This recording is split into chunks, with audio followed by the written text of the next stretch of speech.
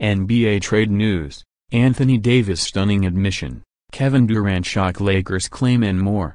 Anthony Davis has been linked with being traded to the Boston Celtics, but Jayson Tatum is seemingly off the table in any negotiations.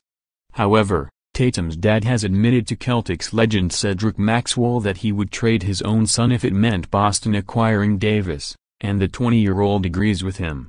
Anthony Davis, how good he would make this team if you add another piece like that with a Kyrie and the young players you have, but how much talent would you have to lose if in fact you had Anthony Davis, Maxwell said on the Celtics Beat podcast. Jayson Tatum's dad came up to me one day and I had been on Comcast and they asked me about Anthony Davis and asked in trade for Anthony Davis, would Jayson Tatum be one of those guys involved and he trade and I said all day long. Jayson Tatum's dad came to me a couple days later and said, I've got a bone to pick with you. You said you'd trade my son for Anthony Davis and I said, and? He said, I would probably trade him too if he weren't my son so I think that you have to look at everything will be on the table. Even I talked to Tatum and told him that story about his dad and he said, I'd trade me too for Anthony Davis Kevin Durant will not resign with the Golden State Warriors this summer, instead aiming to link up with another superstar at a different franchise?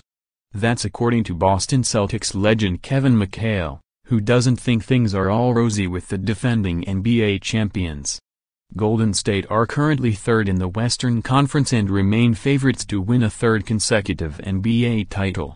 However, reports over Durant's free agency decision reached fever pitch in November when he was involved in an ugly on-court altercation with Draymond Green.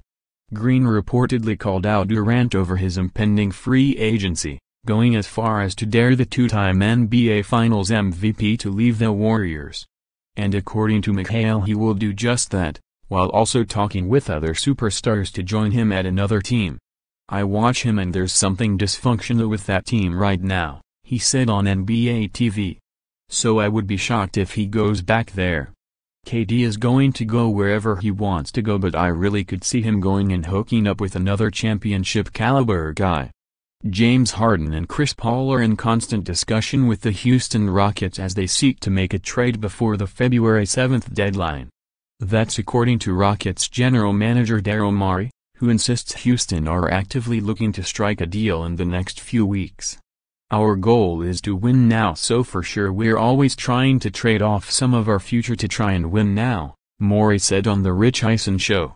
He added, so there's a constant dialogue with them about potential players who can maybe come in and help but it's a partnership with our players and we would never bring someone in that we didn't think was a great fit. Our chemistry is too important for that.